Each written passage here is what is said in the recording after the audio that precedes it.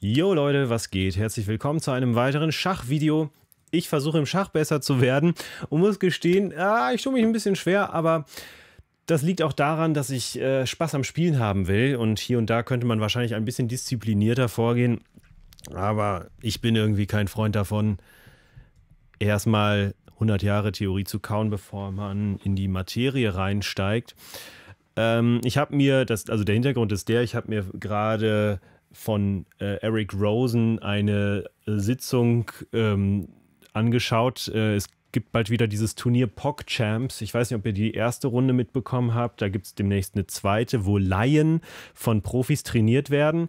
Und diese Laien, das sind häufig irgendwelche bekannten YouTuber und Streamer und so weiter, ähm, sodass da auch ein gewisses Publikum dann hin hintersteckt. Ne? Dadurch wird natürlich äh, der Schachsport ein bisschen populärer. Naja, und es ist halt super interessant zu sehen, wie die Profis dann diese Laien da trainieren. Und ich denke mir so, boah, wenn ich mir das alles einfach mal merken würde, was da gerade so gesagt wird, dann würde ich wahrscheinlich piu, tausendmal besser spielen. Aber da bei mir auch so ein bisschen der Druck fehlt, ähm, bleibt das alles nicht so ganz haften. Aber ich denke, irgendwo im Unterbewusstsein ähm, wird es hoffentlich haften bleiben. Und ich ähm, werde wahrscheinlich hier auch auf dem Channel nicht ähm, bis in die Unendlichkeit Puzzle und Rätsel lösen, sondern vielleicht auch nochmal in bestimmte Tutorials reingehen ähm, zu Eröffnungsstrategien und so weiter. Also ich, ich finde diesen sizilianischen Drachen, diesen, darüber werden wir mal ein Video machen, äh, ganz interessant. Und da werden wir mal weiter dahinter steigen. Aber jetzt, ähm, heute ist tatsächlich noch, noch so ein bisschen Special-Video. Special-Videos nennt man ja immer die, die so ein bisschen flaschenhalsmäßig produziert sind. Ähm, ich muss eins vorproduzieren, weil ich an dem Tag, wo ihr das guckt, super, super busy sein werde. Und dementsprechend ähm, legen wir mal schnell los und ich, ich habe tatsächlich nicht allzu viel Zeit und fürchte, dass ich jetzt auch punktemäßig rapide in den Keller abrutschen werde, wenn ich jetzt, wenn ich so im Stress versuche, Aufgaben zu lösen. Mal gucken, wie das klappt. Meine Dame ist bedroht. Gerade hat Schwarz den äh, Springer gesetzt und sagt, ich will deine Dame.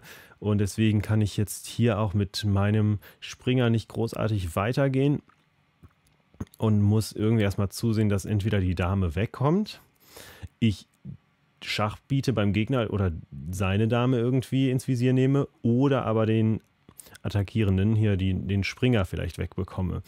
Das sind so die Optionen. Das geht zum Beispiel. Ne? Ich kann also mit dem Springer hier einfach gegensteuern. Dann würde mir der Springer geschlagen, was natürlich wehtut.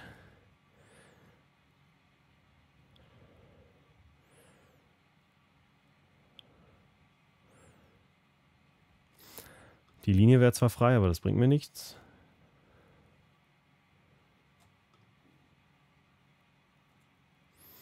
Also ich glaube, Pferd schlägt Pferd ist nicht naja, gut, es ist ein Abtausch, ne?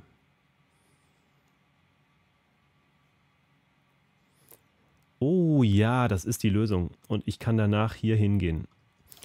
Ja, wenn man das sofort sieht, wenn man sofort die richtige Linie zufällig in den Blick nimmt, dann sind die Rätsel irgendwie sehr einfach. Aber glaubt ihr auch, das müsste doch die Lösung sein. Ich nehme hier das Pferd weg. Mich schlägt der Läufer, gibt dadurch dieses Feld frei.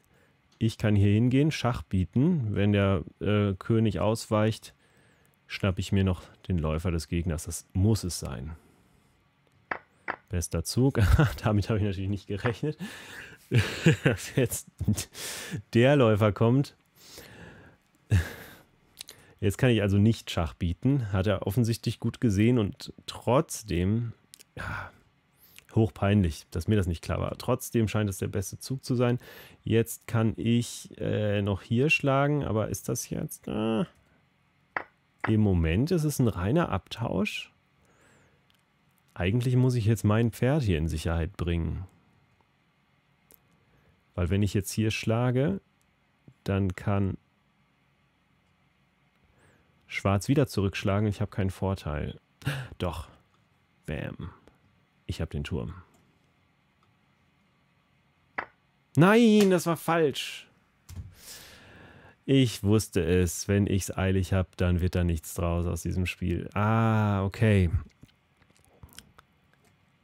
Dame kann ich mir ehrlich gesagt nicht vorstellen. Ich kann mir nicht vorstellen, dass Dame... Doch, Dame soll richtig sein.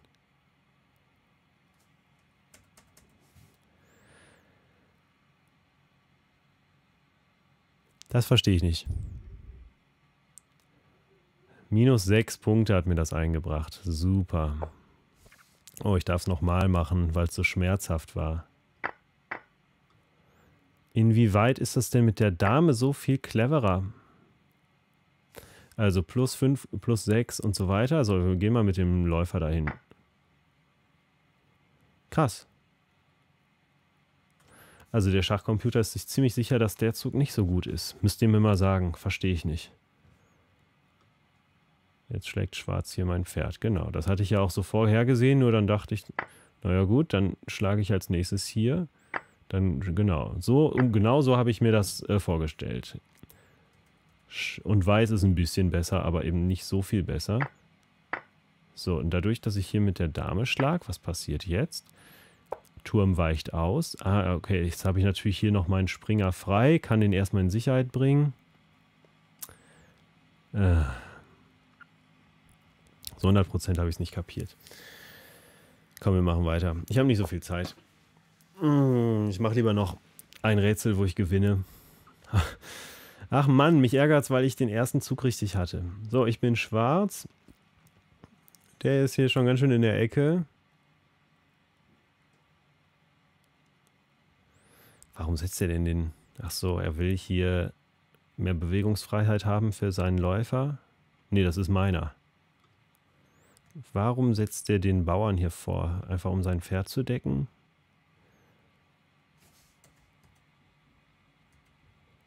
Also hier habe ich offensichtlich Schach geboten. Warum ich dann hier hingegangen bin, ist mir nicht ganz klar. Ach so, genau, weil ich den dadurch angegriffen habe. Okay, ja, war nicht schlecht. Von hinten. Äh, er weicht eigentlich nur aus. Das ist so die erste Motivation für diesen Zug. Schon mal gut zu sehen. Ganz ehrlich, kann ich nicht einfach auf die Grundlinie gehen? Also wenn der Gegner sich anschickt, hier zu schlagen, habe ich zwar die Dame geopfert, aber das ist doch Schachmatt. Ja, nicht ganz. Aber so gut wie. Der kann nicht wirklich dagegen ankommen.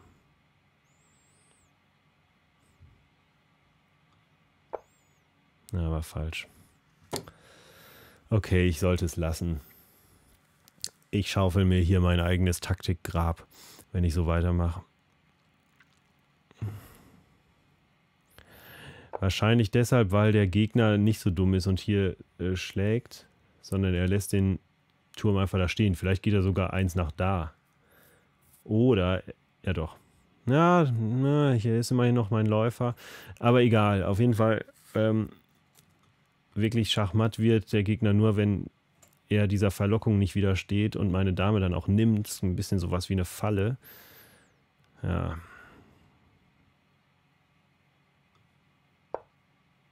Ich gucke mir die Lösung an.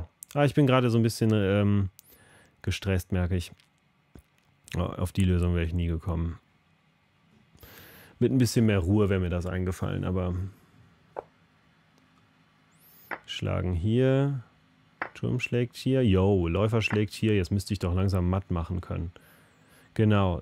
Jetzt tun wir mal so, als würde er hier das nicht sehen. Dann ist so auf diese Weise Schachmatt.